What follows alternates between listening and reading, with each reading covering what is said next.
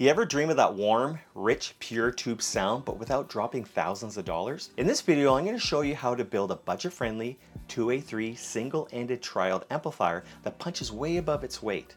You'll be surprised how good a sound you can get even if you're on a tight budget.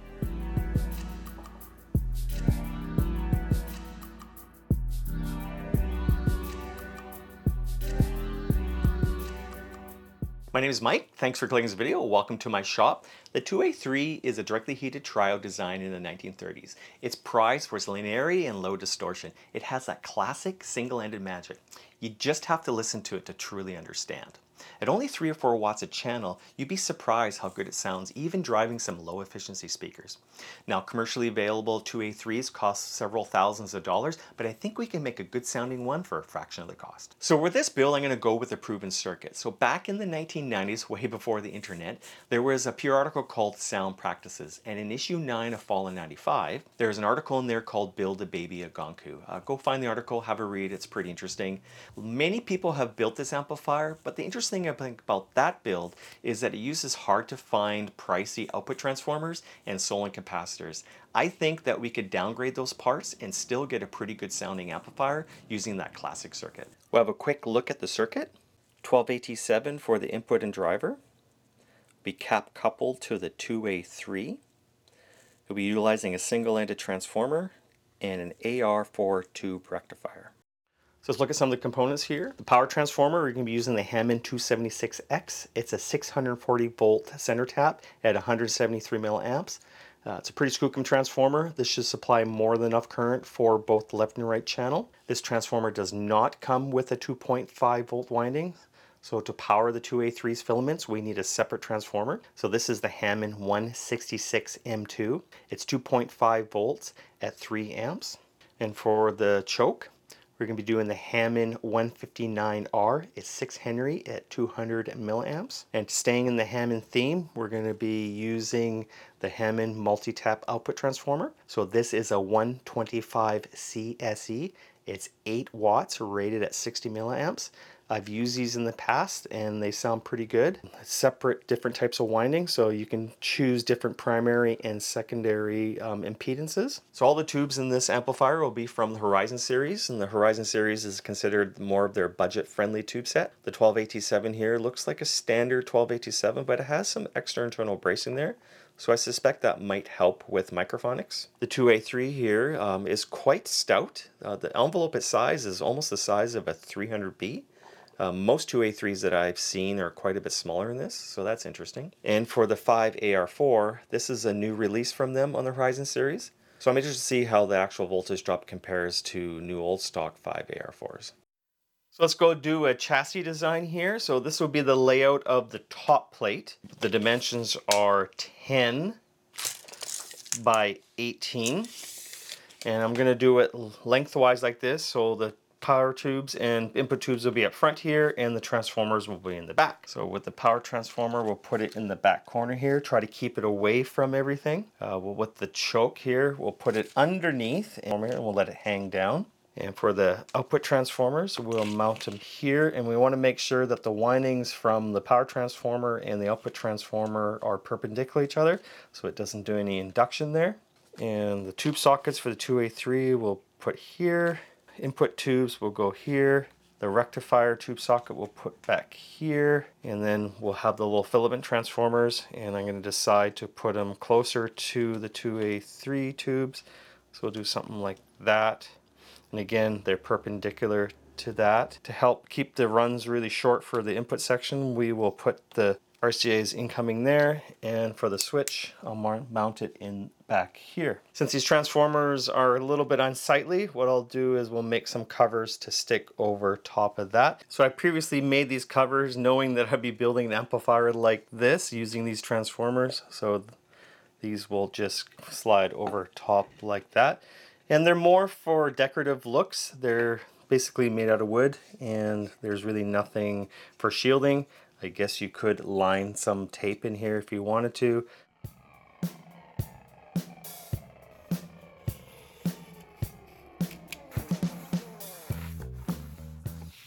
So with some poster board and some tape, I did a mock-up of my amplifier chassis, a CAD, cardboard aided design. I like to do this before I uh, switch over to the full metal version just to make sure there's room for everything, everything clears, everything fits, and, and I can actually get at everything and solder everything together. Now there is some inspiration from those classic audio note amplifiers. This 2A3 amplifier that I'm building is sort of a nod to that, so it would be fitting to do something similar as well. Now, if you didn't have all the metal working fabrication skills, you could basically build this amplifier on a wood base with a loom top plate. I've built many amplifiers like this. It works great and you don't need a lot of tools other than a drill and maybe some punches. Just did a quick mock-up with the tube sitting on top of the cardboard chassis. See the rectifier tube popping out the back there. I like this color scheme, so I'm thinking I'm going to do something similar. So a white top, black transformer covers, and black sides.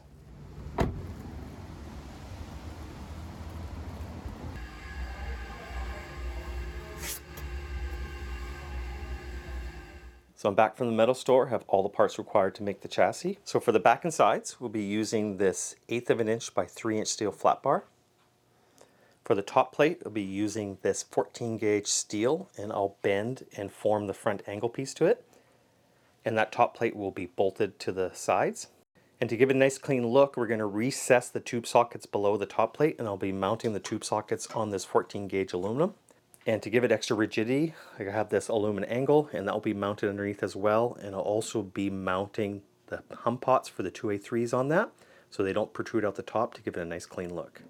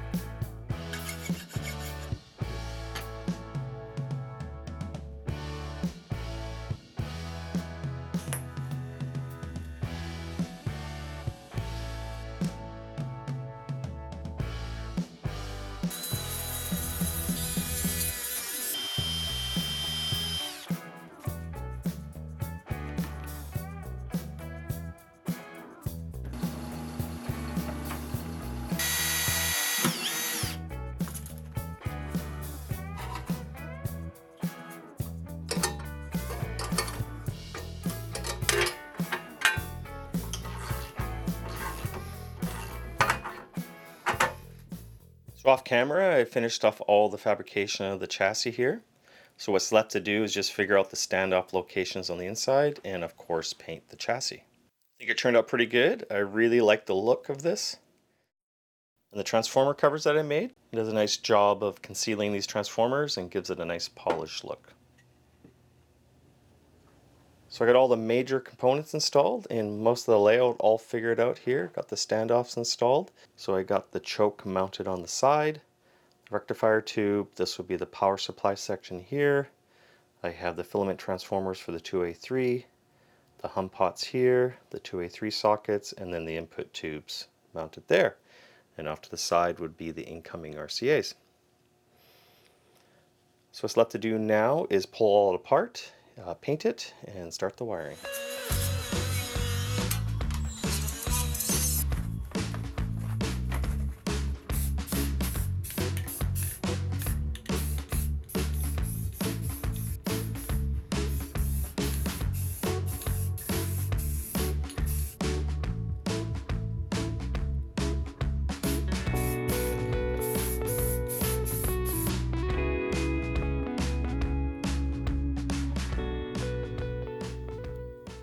Paint is all cured and I started mounting all the components here. So I have the bottom plate is a modular design, so I have all the tube sockets on the front section. Those are all mounted with the terminal strips. I have the middle section that holds the hum pots and the filament transformers. And then I have the rear section that holds all the power supply. And I mounted the choke on the side there and some more standoffs. So we want to make sure that the grommets are in place where only pass-throughs go so I have some on the middle section there. And on the top plate here, I also have where the output transformer goes through and the power transformer in the back there goes through. So nice grommets there, no sharp edges. So for all the fasteners, I'm using these hex key button heads mixed for a nice clean look. So I typically use 6x32 for most of the chassis. Uh, mounting transformers and other things with bigger holes, I'll use 8x32. They have a nice clean look and they come with an Allen key. For nuts, I typically go with a nylon lug so nothing vibrates loose and if you don't want to go with that you should have something like a lock washer or the star washers as well.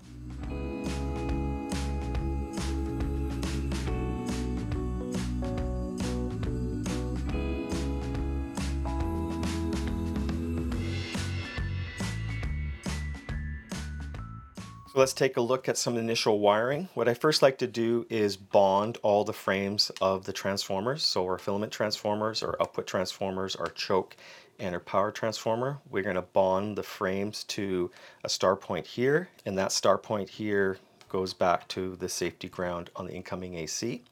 I tidied up all the loose wires and kind of zap strapped them all together and then I also went ahead and wired the speaker connections to the speaker jacks. So the next point here would be to do all the grounding and bonding.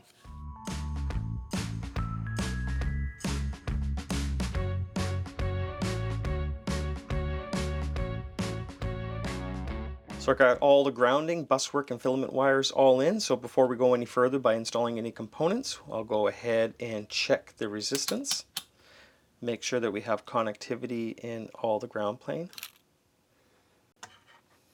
So I just go through and make sure we have no bad solder joints. So I have a quick look at the tools and the wire I'm using. So for the main hookup wire, I'm using the 22 gauge solid core PVC wire. The reason why I like this is it trains really nice and when you heat it up with a soldering gun it doesn't deform the jacket too much. For the solder, we're going with the Kester's 6040. It is 0.031 of an inch or 0.8 millimeters. Uh, for the soldering station, I'm going with the Hakko 936 and with the wand it is the 907. I've been really happy with this, been running this for years. It's a great station. So I got most of the wiring done and before I install the passive components I have a quick look at the layout here. So we have the incoming signal through some shielded wires and the shielding is bonded to a ground stud here that's directly to the chassis. We have the left and right channel bonding is separated each other and it only connects back to the star ground. I have the incoming 6.3 heater winding for the input tubes and that's all shielded and any of the signal wires that cross over that is perpendicular to each other. We have the B plus coming from the power supply section around this side so it's nicely separated. We have the hum pots mounted and the filaments for the 2A3s all wired up back to the filament transformers because the power transformer here does not have the 2.5 filament windings.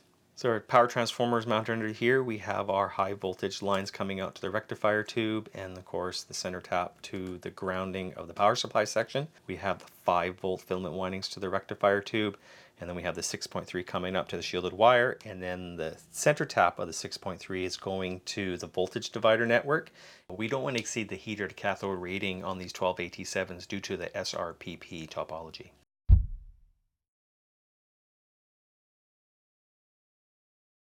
So before we install all the passive components, now is a really good time to see if the three filament circuits and the high voltage winding on the transformer actually have voltage. So I have the amplifier plugged into my light bulb current sink and I have my multimeter hooked up to AC voltage there.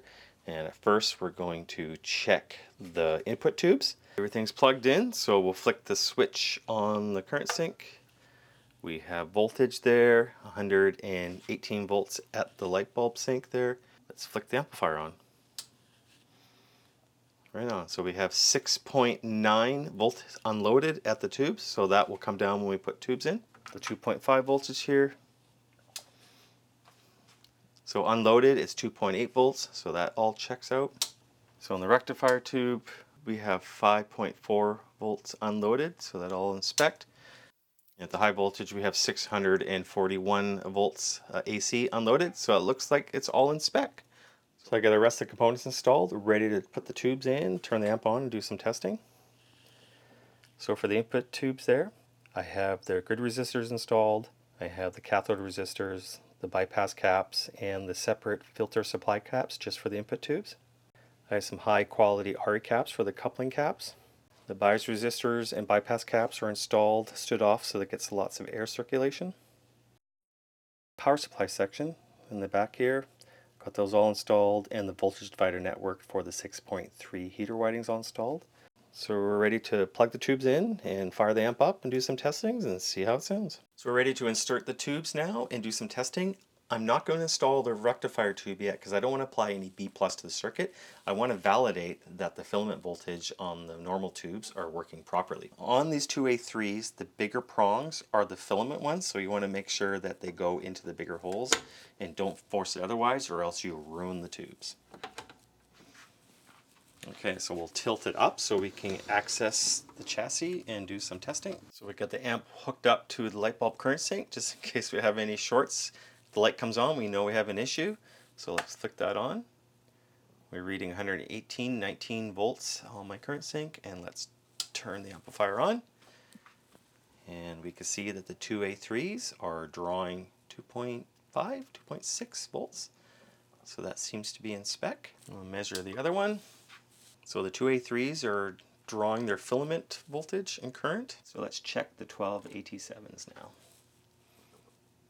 turn that on. As they warm up, it will kind of come down a bit.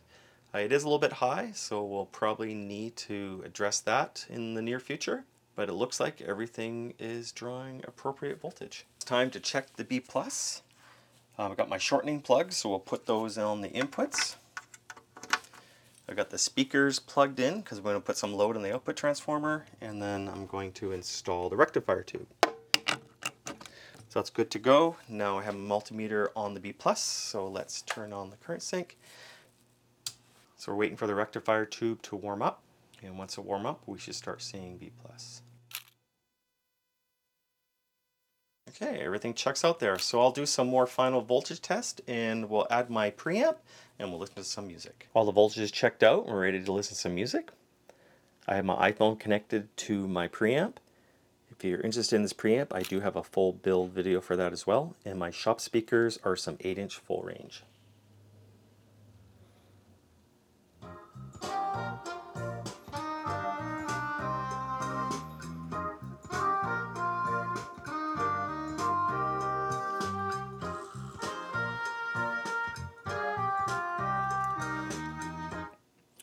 So I say that's a success. What I'll do is I'll remove this and put this into my main system and we'll put a high resolution source onto it.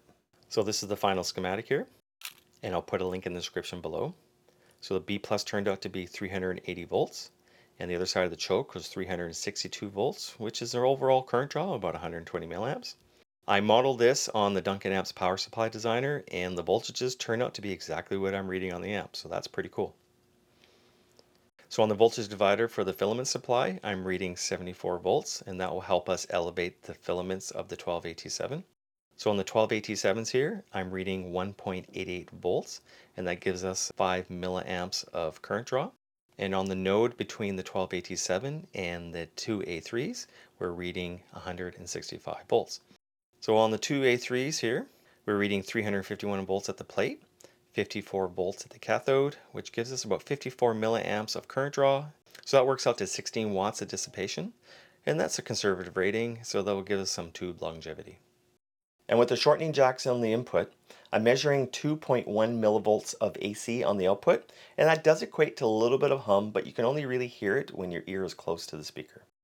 I've been auditioning this amplifier for a couple days now, and I must say, this little amplifier sure delivers that classic set sound. It has rich mids, detailed soundstage, and for only 3 watts, it can sure fill the room even with its low parts count and a rudimentary topology, makes me believe that the magic is in these 2A3 tubes. Now I did deviate a little bit from the original schematic in the article, so I'll put a link in the description below for the schematic I use, a bill of material, and also a build document of some different things you could do with this amplifier, like different rectifier tubes and different output transformers. I run this with a subwoofer, so I don't really care too much about the low bass extension, but if you didn't have a subwoofer, you probably want to get some better output transformers, something like the original Magnequest ones, or even the Edcor ones. And I'll put a link in the description below of what else would work for this amplifier. If you like this build and want me to do a deeper dive into this amplifier, please leave a comment below and perhaps I can do another video. Once again, thanks for watching, and I'll see you in the next video.